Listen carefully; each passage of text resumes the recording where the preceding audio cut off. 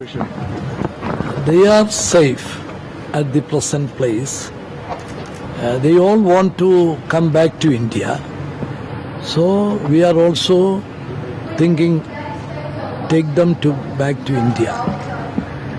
For that purpose, uh, we met again and discuss everything, and we we hope that uh, at the earliest we can bring back to India. No, but the point, sir, is that yesterday after you had given a categorical assurance that they are safe, and you have you had an assurance from the uh, external affairs minister, the fact is that they are still under ISI, ISSI's uh, captivity. Yeah, I cannot uh, disclose everything, but I can say uh, very well that they are all safe, and uh, we are trying to get them back at the earliest.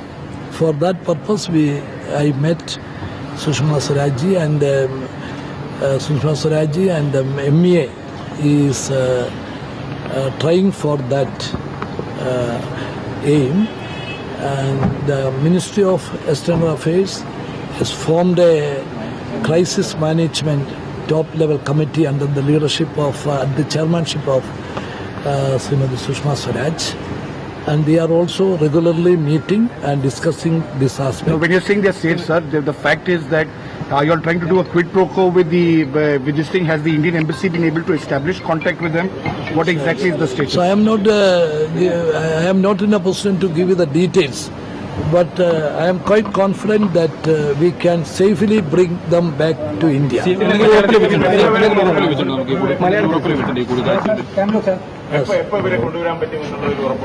അതെ അതിനെ സംബന്ധിച്ചിടത്തോളം ഏറ്റവും വേഗത്തിൽ കൊണ്ടുവരണം എന്നാണ് ആഗ്രഹിക്കുന്നത്. അവരുമായിട്ട് ഇന്ന് രാവിലെയും ടെലിഫോണിൽ സംസാരിച്ചു. അവരുമായിട്ട് ആ, തുടർച്ചയായിട്ട് നമ്മൾ ബന്ധപ്പെട്ടുകൊണ്ടാണ് ഇരിക്കുന്നത്. അപ്പം അവർക്കെല്ലാം തിരിച്ച് വരണം എന്നുള്ളതാണ് അവരുടെ ആഗ്രഹം. അത് ഏറ്റവും വേഗത്തിലാക്കാൻ വേണ്ടിയിട്ടാണ് ശ്രമിക്കുന്നത്. അതുകൊണ്ടാണ് പിന്നെ വന്ന് വീണ്ടും ഞങ്ങൾ ചർച്ച ചെയ്തത്.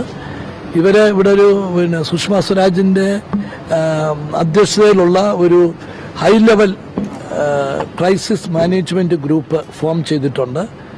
അവർ ആണ് ഈ കാര്യങ്ങളിലൊക്കെ പ്രവർത്തനം നടത്തുന്നത്